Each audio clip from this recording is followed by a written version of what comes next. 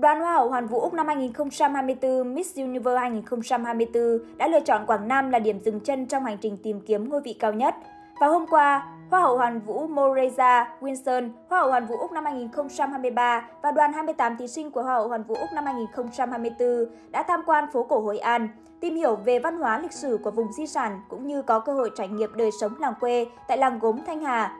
Đoàn Hoa hậu cũng đã ghé thăm Trung tâm hỗ trợ và giáo dục hòa nhập đối với trẻ khiếm thính Quảng Nam, thuộc tổ chức Herring Beyond Không chỉ tìm hiểu về hoạt động của trung tâm, đoàn Hoa hậu còn được các bạn nhỏ khiếm thính dạy về ngôn ngữ ký hiệu. Ngay trong chuyến ghé thăm, đoàn Hoa hậu đã quyết định lập chiến dịch gây quỹ từ người dân Úc để dành tặng cho trung tâm. Chương trình được thực hiện thông qua mạng xã hội Instagram của cá nhân các thí sinh và quỹ Toybox của Úc.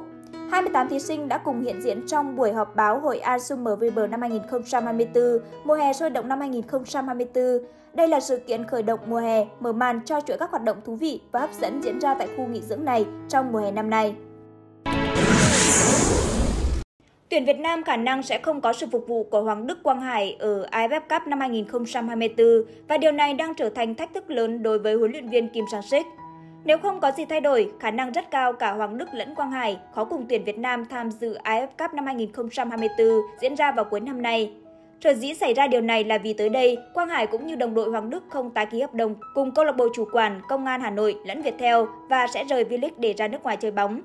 Dù chưa rõ đích đến là Nhật Bản, Thái Lan như tin đồn hay giải đấu khác, nhưng khả năng cao bộ đôi tiền vệ sáng giá nhất V-League khó khoác áo tuyển Việt Nam thời điểm AFF Cup diễn ra vì sân chơi lớn nhất khu vực không thuộc hệ thống FIFA để buộc các câu lạc bộ nhà người.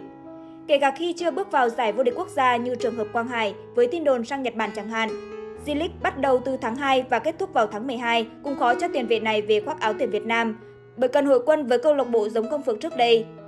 Thậm chí kể cả được câu lạc bộ mới cho phép cũng chẳng dễ để Quang Hải hoặc Hoàng Đức chơi 100% năng lực tại AFF Cup nhằm hạn chế rủi ro cao nhất với chuyến xuất ngoại của mình.